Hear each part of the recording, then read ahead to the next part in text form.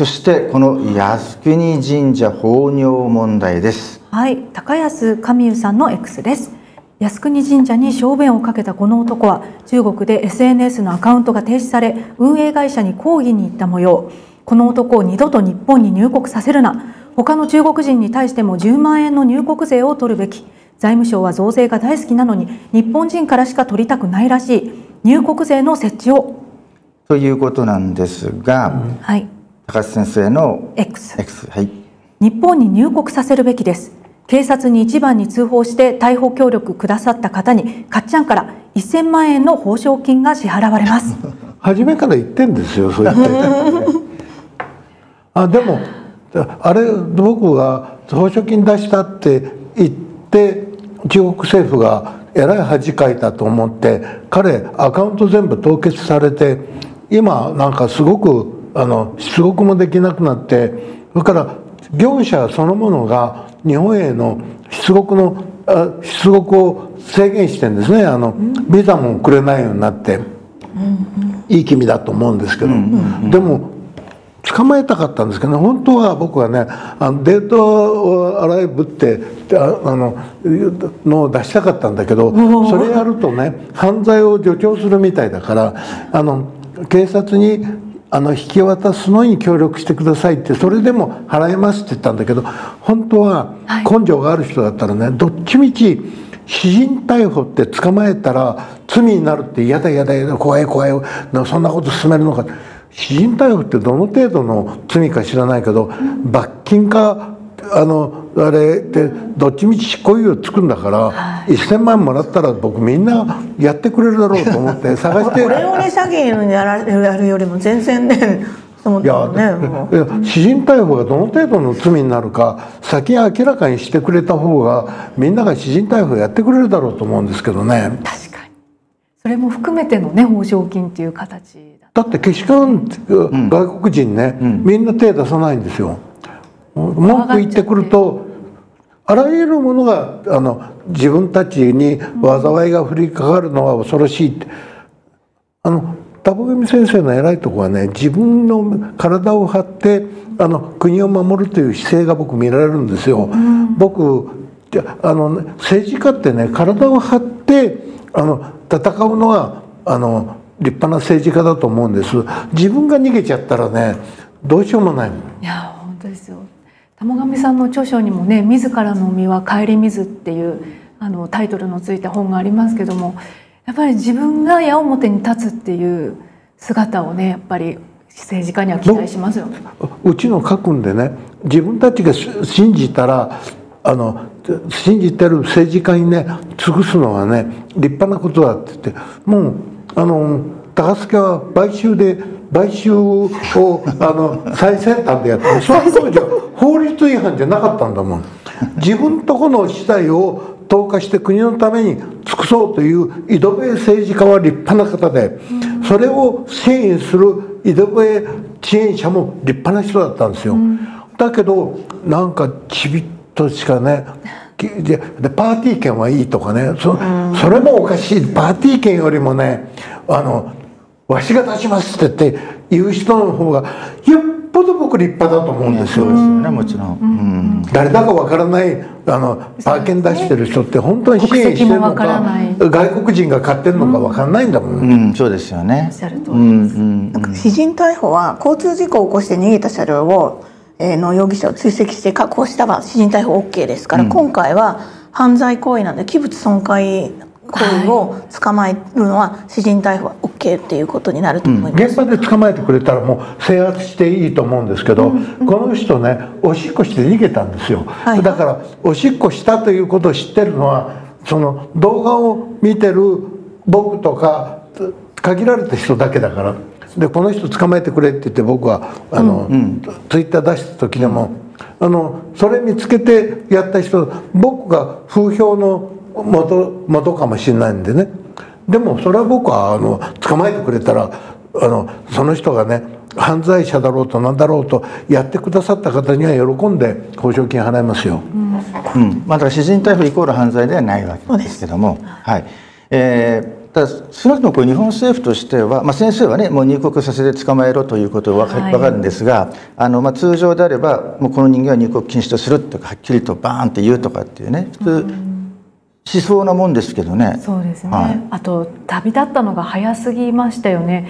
なんかあの3日後くらいこの動画が拡散されてから3日後くらいに旅立ったじゃないですか中国に、ね、その時にもうある程度こう、ね、顔は割れてたから空港で捕まえることを税関で止めることはそれそれできないと思います。できない初めからやる気で僕今だからこれ言いますけどね。昔中国の偉い人にあの高橋先生って「先生この人いなくなったらあの嬉しいなと思う人いたら教えてください」って言われたことあるんですよ昔偉い人に。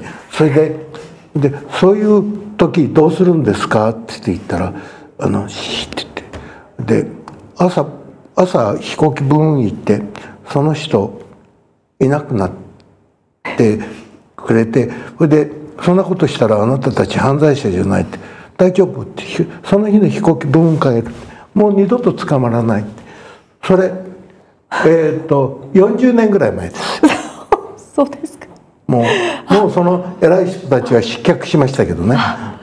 だだそういうことをやってくださる国なんですよ。そういうノウハウがある国だと、はい、朝朝来てブーンポンポンってそれでブーンってそれででもう二度と帰ってこないブーンの擬音がすごく不気味ですけど、うん、本当ね。なんかね。ポンポンもついてました。ポンポンポンは何なんだろう。不気味な擬音。はいはいはいうん。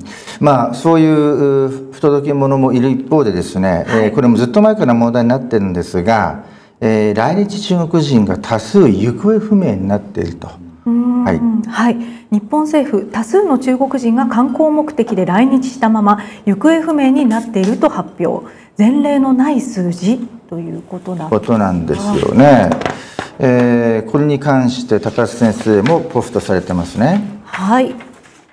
戦争準備か。潜入スパイや兵士を罰する法整備。はよ、うん、これちょっとあの最初の方のやつをちょっと読んでみてもらえます？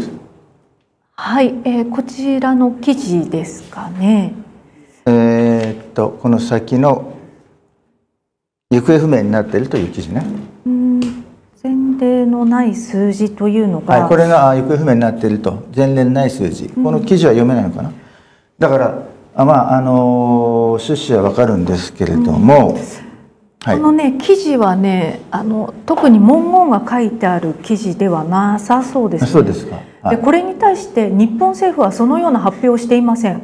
日本政府多数の中国人が観光目的で来日したまま行方不明になっていると発表はごちゃんのスレッドタイトルです元は大紀元時報の記事で中国の観光関係者がビザ停止となった旅行会社が不法滞在に協力したのではないかと述べていますが実際に観光客が日本で失踪し不法滞在しているとする根拠は示されていませんということで X の方に早速注釈がついてますが。ただあり得ると思いますよ。というのは例えば、うん、あのクルーズ船で来て、はいで降りた人数よりもあの、ね、また乗った人数が少ないとかね、うん、ということはもう前々から言われているし、はい。はい、それから就労目的で来てもそのまま行方不明になるケースも多々そうですね。技能実習生の行方不明の事例っていうのはものすごく多数あるっていうのは以前から報道されてます。それからあの日本語学校に来たというはずでね、うん、つまりいなくなると。これも、はい、だからもう数万人単位でそれはもう前から発生してるわけなんですよね。このすぐ注釈がつくっていうのもね。でそれでまたですね実際あのこれ僕何度も言ってますけどもあのアメリカのですね、まあ、国境が崩壊して、はい、えー、ものすごい数の難民、まあ、不法移民が入り込んでると、うん、その中にどう見ても中国人その若いですね、えー、屈強な中国人も多数含まれていると。でで帰っていって国内でですね射撃訓練をしていると。ということを向こうのジャーナリストから直接聞いたんですけれどもでそれを監視する市民団体まであるということなんですよ。だから不法侵入入国しておいてで普通だったら入って何とか生活をこうね作ろうとするじゃないですか、はいはい、それよりも射撃訓練してると。そういう事例はアメリカから報告されてるんです。いやアメリカよりも日本の方が最前線です、はい。最前線で中国と対峙してるわけですから、はい。アメリカより日本の方がよっぽど深刻な話です、で大体日本は昔からそういうことを恐れていてあの中であの隣組とか自警団とか、ちゃんと民間組織がちゃんとできてて、見たことのない人間が怪しい行いをしている人間がスパイ活動だとかあのあ戦争戦争のあの鉄国に利あの利するような行いをしないように抑えるシステムがあったんです。全部あの、えー大東亜戦争の後全部壊されて、そういうものを作ること自体があの罪みたいになっちゃって本当に。共あれだけプロ市民が団体作るんだったらあの愛国者たちも同じものを作ってもいいと思うんだけど。本当です。ねまとまれないところがね、でも一言じゃなくてあるあの攻められたって言ったら中からね太陽光パネルどこじゃなくて原原発をぶっ壊されたりそれからあの自衛隊員の自衛隊の中にそういう人たちが混ざっていて内内部であの反乱を起こしたり何されるか分かりませんもん。もうとにかくよそから入ってきて行方不明になった人たちって全部指名手配やるべきだと思ういや、本当そうですよね。だから日本政府は発表してないって別に発表しないことには何のあの信頼性もないですよ。確かに黙ってるだけというね、はいうん、ことありますから、あ、これ非常に重大な問題だと思いますね。はいはい。さあここで、えー岸田政権に話題を移したいと思います。はい、えー岸田首相退陣論謙虚に受け止めという時事通信の記事です。岸田文雄首相は17日の衆院決算行政監視委員会で同党内で自身の退陣を求める声が出ていることについて謙虚に受け止めなければならない。今後も車座対話をはじめ地方に出向いて意見を伺いどういった責任を果たしていくべきか考えたいと述べた。ということです。車さ車座。車さ対話 どうですか？この総理大臣ですよ、はい。総理大臣がこの段階で車さ対話とかって言ってるんですけど。あのちょっと江戸川区議時代の私ですか？それ。本当にちょっと区民間であの ご話聞かせてくださいみたいな。船堀健康センターね カラオケ好きですよ。カラオケ付き。そうそう。船堀健康センターのあの座敷でねあのカラオケしながら。ゃってねうん着ちゃってね。そうそうそうみんなでなんかムームーみたいなのしてね親しみやすい。その世界ですよね。はい。もう公開討論会とかせめてねど業界別とかねあるいは大学生も含めてねやる、でまあそその通りですけどあのそもそも明確な理念と政策を持って実行してるべきであってね。あのこの人は最初からあの総裁選の時からですね急になんか目安箱と意見箱とか持ってきてですねあの木原誠二さんと一緒に、はい。いきなりなんかこう持ってきて聞く力がありますとかって。それおかしいでしょうと。その立候補する人間は自分の方から理念と政策を打ち出して私はこういう理念を持ってますと、ね、国家観歴史観そしてえー理念を持ってますとでそれに基づいてこういう政策を推進したいと思ってますと。ね賛同していただける方はぜひ支持してくださいと。こうやんなきゃいけないわけですよ、はい。それをいきなりなんか目安箱持ってきて「はいじ何でも言ってください。聞く耳あります」って。それはそれは順番がおかしい。だからそれはいかに中身がないかってことを意味してるわけですよ。だからここで地方行って車座とかって言い出すわけです だから一貫してるわけですそこは。そこはそこ一貫してそこは一貫してぶれない。さあ中身がないという点においてはブレないんです徹ね底的に。はいブレようがないわけです。はい。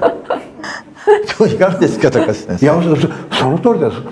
リーダーってね誰が何と言おうがこれが正しいって言って、で政権法政権が潰れてもいいからこれをやり遂げるって言ってるのが立派なリーダーで,、でみんなの意見を聞きましょうって言って言ってでみんなの意見聞いたら聞いたらね大きい声出すのは少数派に決まってるんだからそれ で少数派の意見をね全部拾い上げたらこんな風になっちゃうんですよ。こんな風に。どう考えたってね大多数が考えてると思えないことを あの実行してきますもん。そうですね。うん。どこの意見会広げ会て見については触れちゃったの会見ですか、はい。まあ会見もねどうしちゃった？の？あの僕あの X 上でちょっとアンケート取ったんですけど、はい。あのやっぱり現政権でやらない方がいいと。いう声が圧倒的。不安すぎると。不安すぎちゃってね。それだってやるべき点多々あるわけですよ。もちろんね戦後だってもうねもうすぐ80年ですよ、ね、憲法ができてから数えたって。であのだから変えるべき点点はあるんだけれども今の政権下でやるのは危なすぎるからやめましょうが80%以上だったってことあるんですよ今のそんねそれからそのいろいろこう周りに聞くと間違えると今の先生のお話なんですけどもそうなんですがそれでもまだね日本国民の言うことを聞いてるんだけならまだしもですよ。外国の言うこと聞いちゃいますから全部。はい。本当です、はい。これパーケンたくさん買ってくれる人たちです。あーそうですそうですよ。そうですよ。そうですあのパーティー。今度潜入してみたら。いやですよ。いやしてみたいです。中国人がいっぱい写真撮りに来ますもん。あ高橋先生いた。いややっぱ先生も潜入済みですか？いやいっぱい来てますよ。中国の人たちが買ってくれるんだって。パーティーそれで大体ね政治家のパーティーってお付き合いで買うから出てかないんですよみんな。それで中国人嬉しくて嬉しくてみんな来てますもんだからあの献金は外国人は NG なんですよ。その抜け道としてパーケンがあるんですよ、なるほど。パーケンは外国人。まあでもダンスパーティーじゃないんだから、うん出てきちゃうんですね。うんパ誰でもパーケンで面白いパーティーだだら行きますよ、そだけど面白くないもん。あの政治家のパーティーってあの食事もしそょぼしょぼだったりねれいや食事なんか当てにしちゃダメあですパーティーは私もやりますけども、うちは全員が食べられる量ですけど、もう。とにかくそうだすごいです。しかも5000円なんでもうずっとともう修正式やらないですから。だけども本当に大体政治家の政治資金パーティーってお客様の2割ぐらいしか用意しない、もうそうですよね。そうしないとペイしないとか、うんでこうみんな群がってすごいですよね。誰も聞いてないっていうね、うん。本当に。まあだからあのまああ参議院議員の松下新平さんという人いますけどもあの自民党にですね、はい。もう露骨にですねだって秘書まで中国人にしたわけですから、うん、でその秘書に秘書兼外交顧問とか言って名刺も渡して通行パスも渡して彼女を通して中国人をにいっぱいパーティー券買ってもらうと堂々とやってるわけですがそのことにお咎めなしってどういうことかって言ったら派閥自体自民党自体がやってるからですね。あそう中国人中国の人たち名刺くれるとなんかね日本のし日本のか日本の人みたいな名刺になってんの。なんか名前が。顧問なんとか顧問とか、はい。相談相談役だとかなんかいろいろつけてそれが嬉しいみたいで。ででもほ中国の政府に見られたらなんていうことをやってんだろうと思われるんじゃないかってきかん考えたけど。中国の政府としてはですねむしろこう浸透してくれる方がいいわけです。そうですね。はい。エージェントです、はい、どんどんどんどんどんどん浸透していって、はい、ででしていくとこ法ろ律で全ての情報は国家の維持のために仕込み働きですね。国家情報法がありますからね。ね。だから極力そうで全部浸透影響工作の一員となるということなんですもうどんな素人でもですよ。憲法で国のためにするあのあの尽くすというのははい。義務になってるんですね中国は。あ。中国の方はそうなってます。まあ憲法もそうですけどもい。ろいろいろなその法律がありまして逆らえないですね、はい、だからどこにいてもです、はい。どこにいても適用されるということです。警察まで来てますもんね中国に。そうそうそう。そこのそこの顧問に収まってたのが松下新平さんなんですけど、はい、そのまあその警察そのものはしてるわけじゃありませんがその別の組織を作って登記してそこがその警察機能をするわけですけど、はもちろんだからいろんなあの反体制的な中国人を見つけて、はいえー送還するとかそういうことをやるわけですね。中国人の偽医者がやった失敗ををね警察これかん犯罪だから警察届けろって言ったらしなくていいって我々の警察いるからこちらで処理するから。いますよ。中国人中国人の患者中国人の医者が日本国内で手術してますよ。それであそうだ。そうですね。そうだ。私も聞いた。恐ろしいですね。いや昔から大失敗するんですよ、変なもん使ってやってる。それでこれはねあの警察届けた方がいいってやつも来るんですよ。それで大丈夫って私たちの警察がやるって。裁判もやる。うんうわー、勝手に人の国でそんななんかそう放置そうそう。放置的なねそういうそう勝手にやる措置を。勝手にやるんですよ、勝手にね。ですね。うん、でも、うん、確かねそれでだあの僕ってあ医師会やってるからいろんなじ事例見てんだけどあのかじゃあ患者さんがあのす死んじゃったんだってあの医療事故で、それで警察に届けたんだけど警察はそれ犯人だやった先生は分かってんの、はい。だけど患者が分からない。何者だか。結あかん局死んじゃったから、あえっ、と不法滞在。何人だ誰だかわからないとわからない。んかあの、犯罪にならないみたいね。殺今だからって言えるけどすごいのがいっぱいいるんですよ。そういう話ですね。まあだからそういう構想があるじゃないですか。だからそれにそのまあ自民党自体がまあもう相当侵食されてるわけですよ。はい。あと中国だけじゃなくてねエマニュエルの話も聞いちゃうわけですからあーやっぱりね中国米国ともに、うんあの侵食されてるとそうそうそうそう。だからあの目安箱持ってアメリカ大使館行っちゃうからね。車座で。そうそう。車座。車座。車座って言っても自分はもう下だから、ね。ああ、あ縁側の下に座って縁側のる感じ下ではい。お知らす？お知らせアメアクスバ持って走っていくのはすごく有効ですね。あの重慶で一番偉い人おが失脚した時ってあのあの今のあの主席とね、はい。あのライバルだった重慶の一番偉い人、あれ確かあの家族のいろんなねあの材料を持ってアメリカ大使館はいは行ってあれで失脚したんですよ。それであ一番あの習近平さんの一番のライバルだったんだ。よだねあの重慶の偉いさんが、あの中国のトップだったらもう少し日本と話ができてたと。思うなるほど。闇へたくさん。もうもう僕中国へ入れないから何でも喋っちゃう。もうは入っちゃったら帰ってこれないから絶対行かない。でくだ絶さい対帰る。だから、うちの家族もあの絶対行っちゃダメ。なんでおじいちゃんって中国行っちゃダメなの行きたいって。ダメって言ったの。お話ちょっと伺いたいって言って連れてって、でお父さんにあおじいさんに圧力かけられたらおじいさん何でも中国の言うこと聞いちゃうからそんなこといや言っちゃダメ台湾行っていいの？台湾いいって言ってい。でも先生が中国行ったらねなんか急に習近平が若返ったりして。あれ？何年前に？なんかすごいハンサムになって。るしみたいなおかしくな。いとかそういえば高須先生最近見ないね。見ないね。すいません。ズボッパンプリになって帰ってきました、いやいやいや。まあねでも興味ですね、あの中国に普通に行って帰ってこれたら、うん、それは それがおかしいんですよ。うん。そなるほど興味ね。そういうそういうわかるでしょ言ってること。はいうん。はい。はいうん。行って帰ってこれたらそれはもう、はい。まあ時々言論人の中にもねいらっしゃいますよね、うん。だから言論人の話を。なぜいけるんだろうっていう、うん。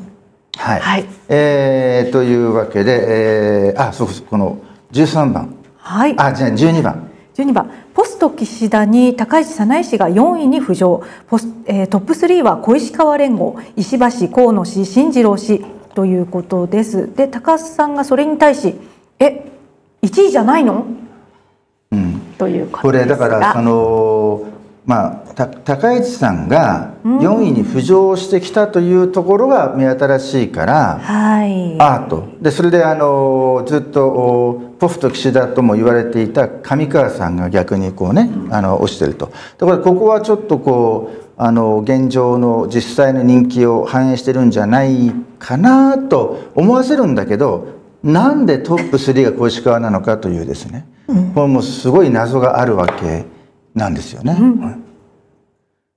これはでも多分でもこれってどこがや FA 産経だとか FNA とか言っても絶対それまたどっかに委託してるでしょ？バイアスがなんか、うん全部ね。だってもう再エネ推進派だからそこがその委託先がちゃんとやってる保証ないと僕は思うんだけど、その辺なんか鍵があるんじゃないかなって気がする。総裁選の時に確かあの、えー、と票がで割れていた時にあの岸田さんあの譲るってななんかどなんか条件があってあった時だったらあの総裁総裁を彼女の方につけるって言って言いませんでした？一番最初の総裁権総総裁選の時。